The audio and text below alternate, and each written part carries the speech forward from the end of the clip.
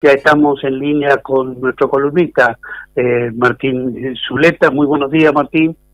¿Cómo va? Hola, buenos, hola, buenos días, Carlos. Muy bien, muy bien, gracias. Bueno, creo que es importante, Martín, eh, seguir considerando, ya estamos en una etapa de, de mucho debate previo a lo que viene después, porque no se abre todavía la campaña de lo que va a ser para el 22 de octubre, pero se van dando ciertos perfiles o ciertas eh, definiciones. Por caso, eh, ya vimos a Patricia Bulli también eh, dispuesta a compartir ya con, con todos los espacios que tuvieron alguna interna, con la reta, Vidal, etcétera, y hasta el gobernador electo de San Juan, junto a Susana Lacial, eh, intendenta de la capital electa, este, participando de un encuentro con Patricia, ¿no? Sí, por supuesto que eh, en esta última parte de la campaña cada, cada candidato va a mostrar su fortaleza, sus fortalezas y va a tratar de exponer las debilidades de, de los demás y creo que en ese sentido Juntos por el Cambio tiene eh, mucho margen para crecer todavía entre el sector del electorado indeciso, entre aquellos que no fueron a votar, e inclusive entre aquellos que fueron a votar en las elecciones pasadas y eh, tienen que cambiar hoy su voto, como por ejemplo los electores de la Reta o los electores de Grabois y eh, otros candidatos que no lograron alcanzar el porcentaje mínimo para ingresar en esta general. Entonces creo que la estrategia es empezar a mostrar la, la fortaleza de cada espacio y en ese sentido Patricia Burri tiene mucho para crecer porque creo yo que representa eh, ese eh, esa necesidad de cambio que se ha manifestado eh, en, las urnas, que la sociedad ha manifestado en las urnas, y a su vez también creo que representa desde un punto de vista racional una postura más equilibrada que la de eh, ley no solamente más equilibrada en cuanto a un perfil personal o propio de, la candidata, sino creo más equilibrada en el sentido de que Juntos por el Cambio tiene la fortaleza de poder mostrarle a la comunidad que va a contar con las mayorías necesarias, tanto en diputados como en senadores, para poder llevar adelante, adelante algunos eh, cambios que, que, son imperiosos. Creo que esa es la fortaleza de Juntos por el Cambio, creo que si se transmite adecuadamente que el único espacio que puede eh, representar razonablemente un cambio posible en la Argentina, eh, creo que va a crecer mucho. Creo que esa es la debilidad de mi ley. Mi ley eh, le ha ido muy bien fortaleciendo su imagen personal y, mostrando esa impronta que evidentemente logró captar la necesidad de cambio y hastío que tiene la sociedad en su persona pero creo que en la elección de octubre vamos a encontrarnos también con, con un electorado que va a tener que repensar el voto, va a tener que, eh, digamos, eh, eh,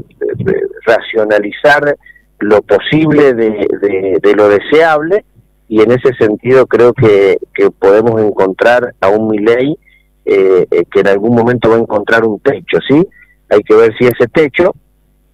que encuentre Javier Milei eh, le alcance para ganar en primera vuelta o no. Yo creo que es la única chance o la única posibilidad que tiene eh, ley de poder eh, ganar la elección y convertirse en presidente es que lo haga en primera vuelta. Creo que en segunda vuelta va a ser muy difícil que Javier Milei pueda eh, alcanzar las mayorías electorales necesarias para ganar en una segunda vuelta, donde ya con con un con dos candidatos solamente en, en la carrera presidencial se gana por por mayoría de, del 50 y, del 50 y un por ciento más de los votos y en ese caso creo que eh, eh, Patricia Bussi se encuentra en mejores condiciones de, de, poder alcanzar primero las pasos y después eventualmente ir a un balotaje con, con Javier Milei. Y en ese escenario me parece que el oficialismo ha perdido mucho terreno, creo que es difícil que Massa pueda en tan poco tiempo eh, relanzar eh, una candidatura que viene muy, eh, digamos, de la mano de, su gestión como ministro de Economía, que no puede exhibir ningún logro,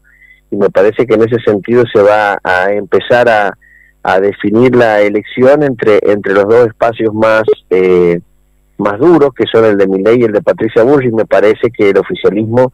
puede perder eh, un poco de terreno en esa carrera, ¿sí? En ese contexto, claro, de, de, que de tercio que tenemos ahora, creo que la polarización va a estar dada entre Mirai y Patricia, dice dice vos, este, Martín, ¿no? Creo que eso es lo razonable, que es lo que uno va viendo, pero quiero ser muy claro en algo.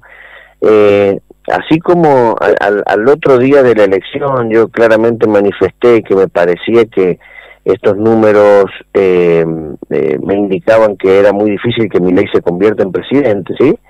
Eh,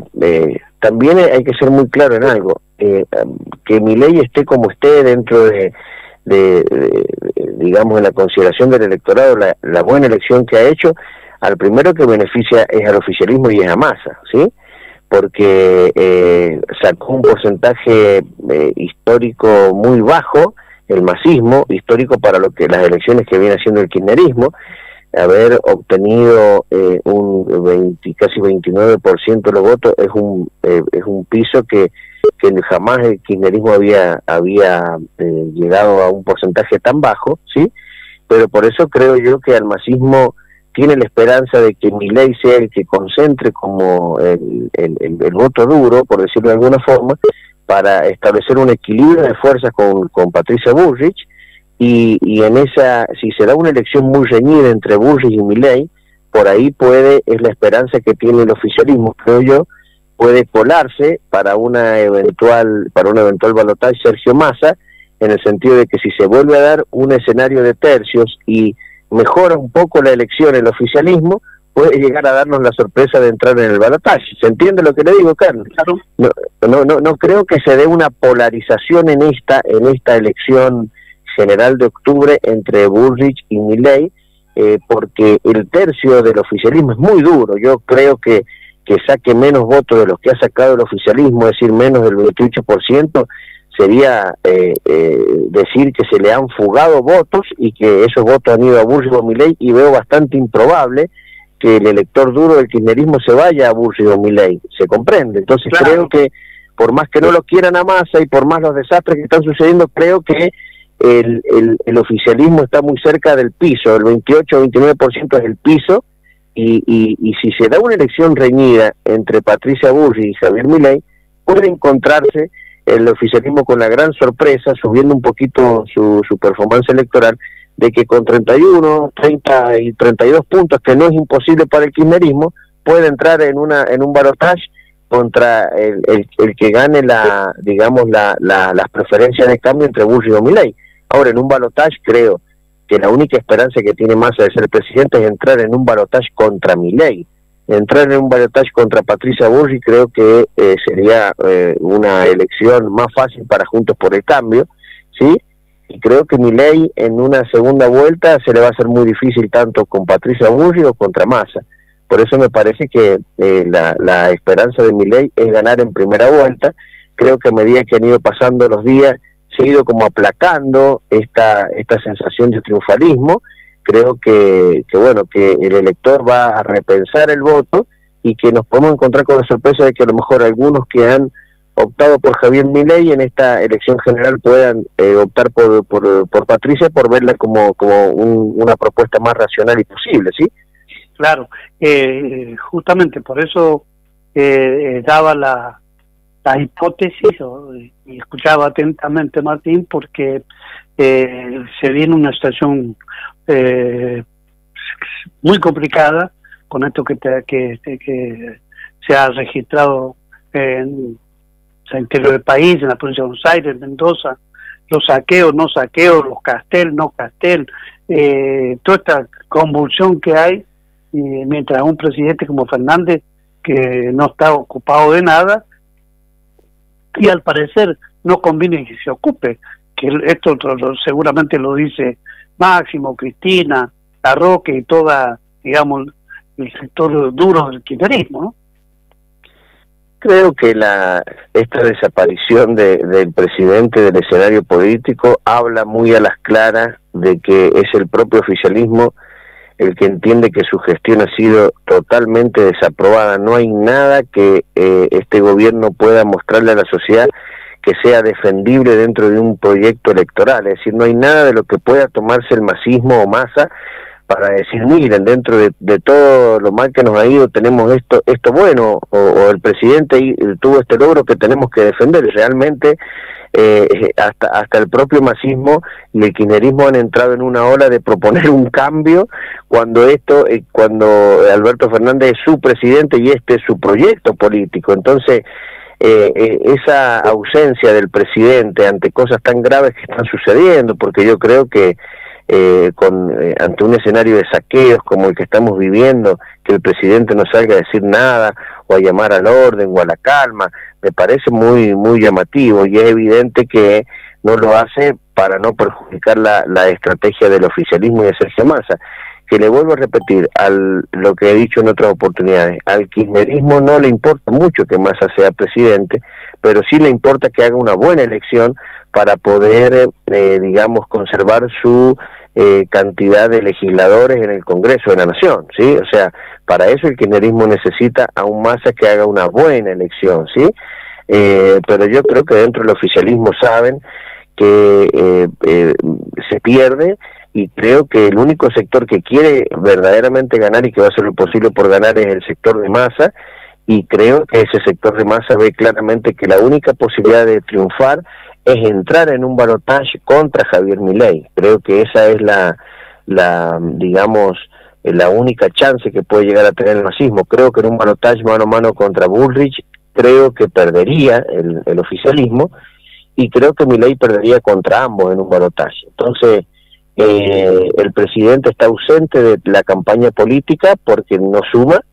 y Cristina Kirchner está ausente de la campaña política porque no quiere ser la abanderada de la derrota nuevamente. O sea, creo que hay que saber interpretar muy bien las ausencias tanto de Alberto Fernández como de Cristina. La ausencia de Cristina están confirmando aquello que veníamos diciendo con usted, que el kirchnerismo no quiere que gane masa, porque Cristina sabe muy bien que para levantar esta elección por parte del oficialismo, ella es la que tiene que salir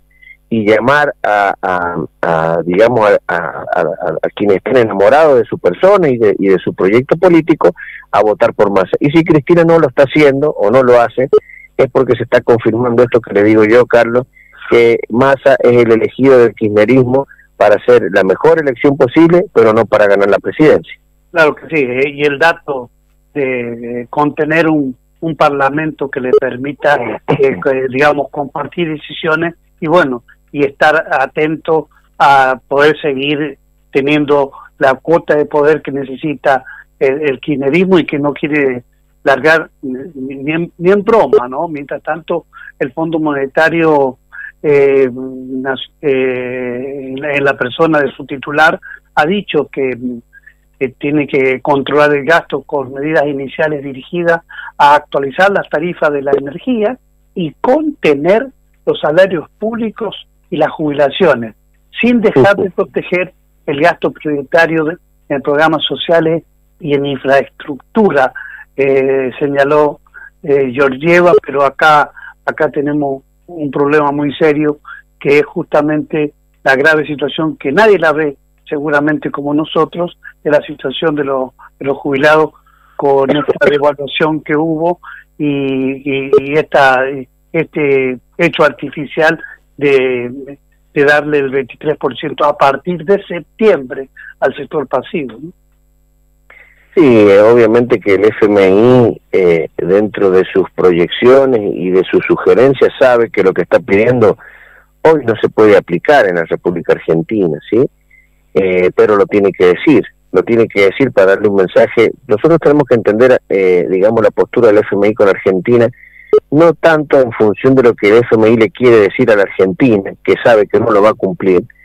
y que ya ha demostrado que por más que no lo cumpla, no le puede soltar la mano, sino también debemos entender estas, eh, digamos, recomendaciones del FMI a la Argentina como un mensaje para otros países, de que no, de que no sigan el camino de la Argentina. Sí, creo que, que tiene eh, eh, la dialéctica retórica del FMI tiene que ver más con eso que que con una necesidad real de imponerle a la Argentina estas medidas, si se las impusiera, a ver, no podría haber jamás desembolsado los 7.500 millones de dólares que le va a desembolsar a la Argentina, porque para que no caiga en un default, porque eh, evidentemente Argentina no ha cumplido con ninguno de los extremos que se había comprometido eh, dentro de los compromisos eh, del acuerdo anterior con el fondo. Y, y, sin embargo, el fondo no le ha soltado la mano y no se lo puede soltar porque, a ver, eh, una, caída en default de la Argentina sería una muy mala señal para, para el resto del mundo. Pero lo que está marcando el FMI es evidente que algo de, de, razonabilidad tiene lo que está diciendo el FMI y las metas que, hacia las que debe caminar la Argentina. Y si usted se pone a leerla atentamente, estamos hablando de un, de un escenario de ajuste muy importante para, para la Argentina y creo que, bueno, eh, tenemos que ir viendo que el próximo gobierno, vamos a tener que entender los argentinos, sea quien sea el próximo gobierno, vamos a tener que entrar dentro de una espiral de, bueno, de reducción del gasto público que nos permita ir hacia, hacia una economía más previsible y más razonable. Creo que en ese sentido, por ahí mi ley es el candidato que es más claro, le está diciendo a la sociedad dónde va a recortar. Creo que mi ley es muy claro, diciendo, eh, eh, exagerando y, y, extremando sus posturas, pero claramente le está diciendo a los argentinos a dónde él cree que va a recortar y a dónde debería recortarse. Ahora, cuando vamos a la práctica, sabemos que todo lo que está proponiendo diciendo, eh, la gran mayoría de las cosas no van a ser realizables en una primera instancia porque no va a tener el acompañamiento ni las mayorías necesarias para, para poder eh, eh, encarar ese, ese tipo de ajustes, ¿sí? Que, que fíjese usted que el fenómeno el fenómeno de mi ley ha causado, digamos, una